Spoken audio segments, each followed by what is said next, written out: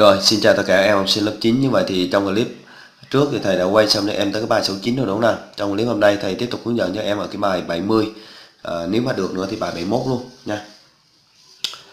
Bài 70 em. Giải các phương trình sau bằng phương pháp đặt ẩn phụ. Khi các em gặp cái trường hợp mà đặt ẩn phụ á Thì các em phải nhìn nhanh. À nó phải giống. Bây giờ nó giống như thế nào thì vào đề bài thì thầy sẽ nói luôn nha. Nhiều chúng ta có câu A này. X bình phương trừ 2x tất cả bình phương trừ 2x bình phương cộng 4x trừ 3 bằng 0 như thế này thì các em sẽ không thấy giống đâu. Mà các em căn cứ vào cái này. Ở đây các em thấy bình phương á, thì nó lại là x bình phương trừ 2x như vậy liệu chúng ta nhóm hai anh này lại chúng ta đặt chung ra thì nó có xuất hiện được là x bình phương trừ 2x hay không?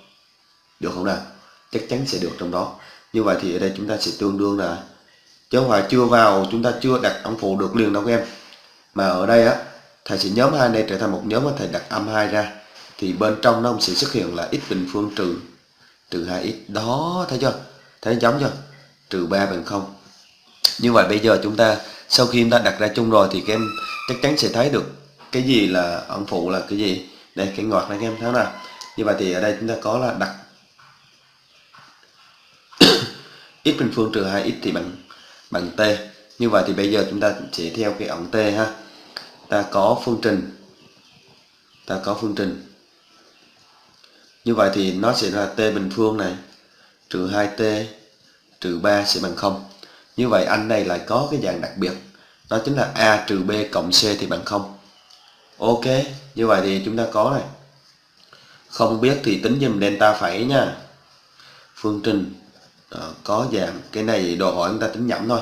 Nó có dạng là a trừ b cộng cho c thì bằng 0 ở đây chúng ta có thể vì là 1 trừ và trừ 2 trở thành cộng 2 trừ 3 thì cái này sẽ bằng 0 các em hiểu chưa nào?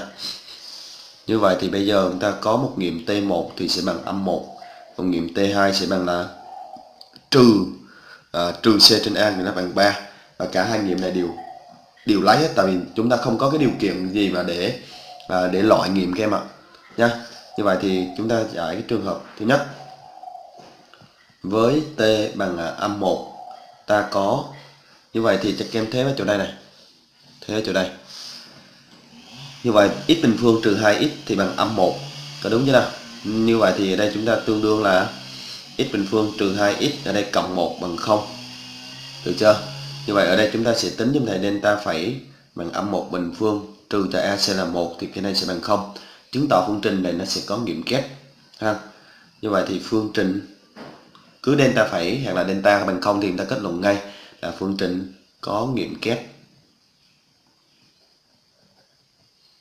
Khi nghiệm kép thì x1 sẽ bằng x2 sẽ bằng là trừ b phẩy trên a, nghĩa là bằng trừ, cho trừ b phẩy là nghĩa là trừ 1 chia a nghĩa là 1 nhưng mà kết quả đây sẽ bằng bằng 1 được chưa? Ở đây tiếp tục với uh, t của chúng ta là bằng 3 t2 ha, t bằng 3 Đấy, ta có như vậy chúng ta có x bình phương trừ 2x sẽ bằng 3 ở đây. Thì ở đây chúng ta sẽ tương đương ha ta sẽ tương đương chuyển với đồ dấu là x bình phương trừ 2x cộng cho 3 bằng 0 ok như vậy thì cái này phương trình này nó cũng là dạng đặc biệt là a trừ b cộng c bằng 0 ha. Như vậy thì phương trình phương trình có dạng đó chính là a trừ b cộng c thì bằng 0 như vậy thì ở đây chúng ta có thể là vì 1 cộng 2 trừ 3 thì bằng 0 được chưa nào? Như vậy thì chúng ta có một nghiệm ở đây là x1 sẽ bằng âm 1 và nghiệm x2 sẽ bằng là gì? Từ từ em, hình như thầy chuyển cái đây qua chưa đổi dấu à. mãi nói quá. Đây là trừ này như vậy cái này là bằng 3 này có được chưa nào? Vậy cái phương trình này đã, đã cho nó có có mấy nghiệm? À, có ba nghiệm. Một âm một với ba ha. Vậy cái phương trình để cho có ba nghiệm. Thầy xin lỗi các em tại chỗ đây thầy chuyển vế phải đổi dấu chỗ đây nha. Nhiều lúc không nhìn lại là không không phát hiện được chỗ sai các em. Tại vì cứ mãi nói theo nó cuốn theo cái bài các em. Như vậy x1 ta là bằng không này đây xin lỗi. X1 chúng ta là bằng 1 này. X2 chúng ta bằng âm 1 này. Đây này x3 của chúng ta sẽ bằng 3 này. Ok. Được chưa? Nói chung thì ai cũng có sự sai sót em nhưng mà nói trong giáo dục này thì uh, hạn chế cái sai tới mức tối đa là là cái tốt. Mà ví dụ như nó có lỡ sai rồi thì phải sửa ngay. Phải đính chính lại ngay chứ không mà nó sai đặc biệt về mặt kiến thức thì nó rất là trầm trọng và nó ảnh hưởng cả một cái thế hệ nên thầy rất rất là biết cái điều đó nghe. Nên thầy nói chung thầy ờ, cũng hay hay khá là ẩu ẩu thả. Nhưng mà thầy cũng chỉnh chu vấn đề này lắm. Nên thầy hiểu chứ chứ sao không hiểu? Nếu thầy dạy mà sai phương pháp hay là uh, truyền đạt sai thì thầy nghĩ cả cái thế hệ mà đang uh, đăng ký kênh của thầy thì nó, nó rất là tội lỗi nghe mà. Thầy nghĩ thế. Nên là thầy cũng rất là chỉnh chu mặc dù thầy làm nhanh nhưng mà nhiều lúc nó có sự sai sót thì các em mong các em bỏ qua nha ok thầy nói như vậy các em có hiểu không? Hiểu ý thầy đang nói cái gì không nè? Hiểu chứ ha mình trình độ lớp 9 rồi mà. 14 15 tuổi cũng lớn rất lớn rồi. Sau anh chị lớp uh, 11 12 thì các em còn nhỏ nhưng mà so với trong trường cấp 2 thì các em là những đàn anh đàn chị rồi chuẩn bị lên lớp 10 ha. Ok chúng ta sẽ đi sang câu B nhé ta đi sang bài 70 câu B. Cái bài 70 câu B này là một dạng người ta hay ra trong đề thi các em nhé. Thầy sẽ nói cho các em để các em hiểu. Ở đây này, chúng ta nên chuyển cái vế bên à, phải này qua bên trái cái nè thầy sẽ nói sau nhé. Trừ x trừ x bình phương, trừ cho 3 cứ chuyển vế thì à, phải đổi dấu được chưa? Thì tới đây á thì chúng ta phải à, làm như thế nào các em bạn đã biết. Ừ.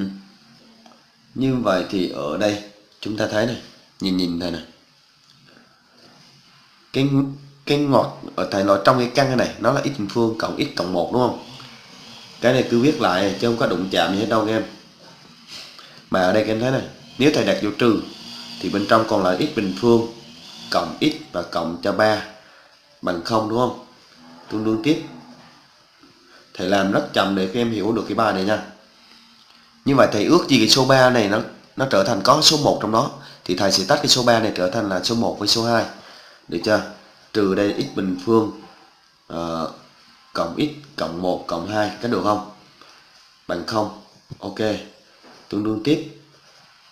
Ờ, uh, 3 bình phương cộng x cộng 1 cứ để đó đi các em như vậy bây giờ thầy tách ra, thành hai nhóm, x bình phương cộng x cộng 1 này. Trừ với cộng này ở đây là thành trừ này. Được không? Ok. Bây giờ để như này cũng được. Chúng ta đặt cái biến t. T sẽ bằng căn hai cái này. Thì cái này sẽ bằng là t bình phương. Nhưng ở đây thầy muốn chuyển vế đổi dấu, chuyển hết cả cái này này chuyển thầy sẽ bóc hết cả cái này chuyển qua bên vế bên phải nha.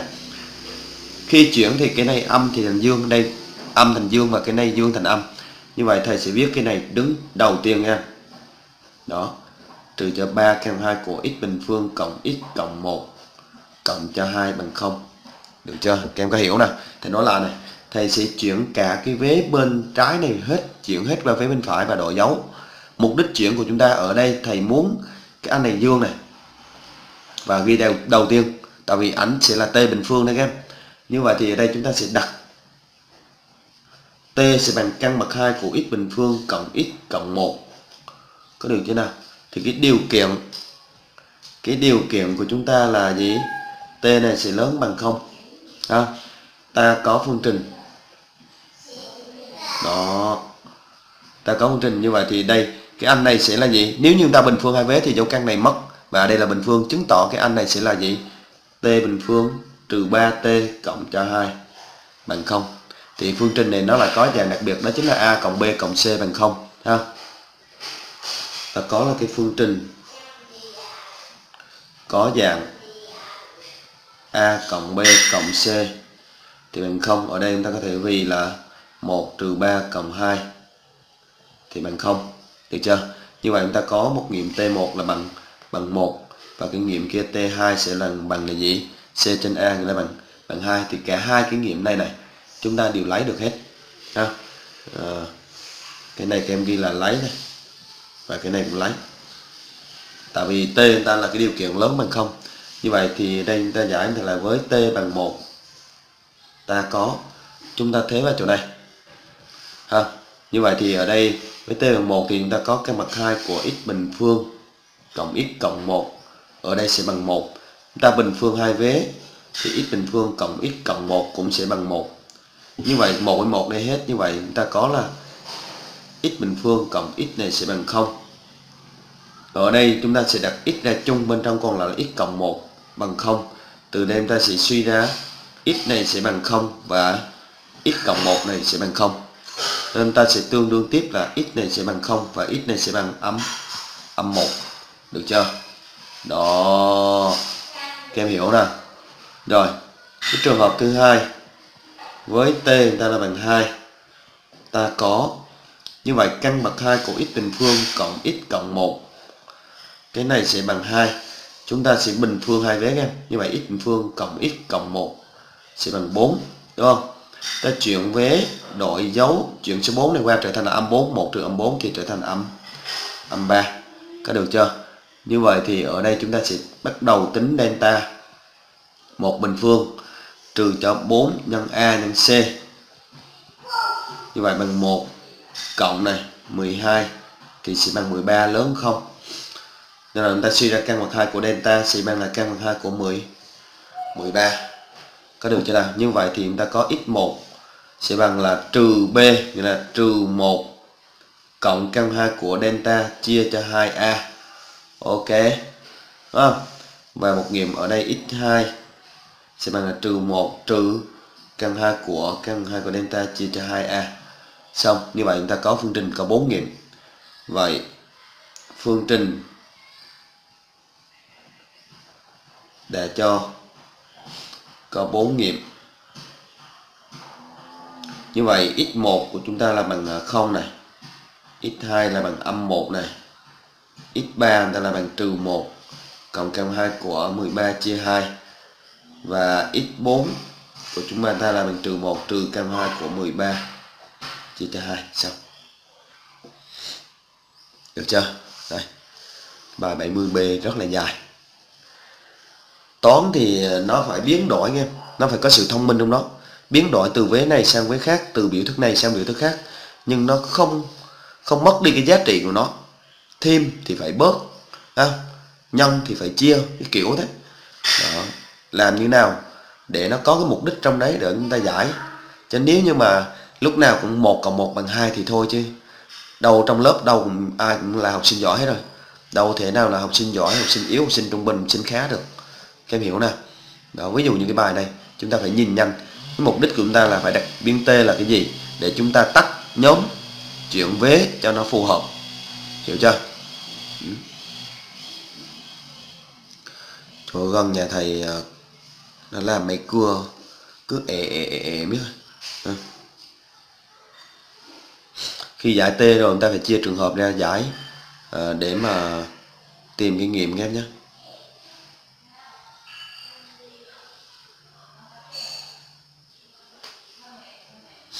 Được chưa nào? Như vậy thì ờ, clip hôm nay tới đây chắc kết thúc em ở cái sau thì thầy sẽ quay cho các em ở cái bài 71 cái bài 72 các em nhé. Ok. Cảm ơn em đã theo dõi hết clip của thầy. Xin chào lại các em trong các clip tiếp theo. Bye bye. Nhớ like, comment, tích cực và chia sẻ bài giảng giúp thầy nha các em nha. Rồi, cảm ơn em. Ok.